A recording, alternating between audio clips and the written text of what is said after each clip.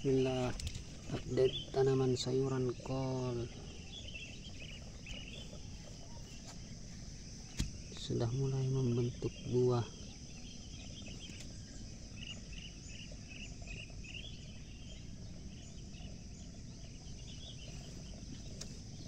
Umur kurang lebih sebulan. Tanaman selada pasca panen juga umur kurang lebih sebulan.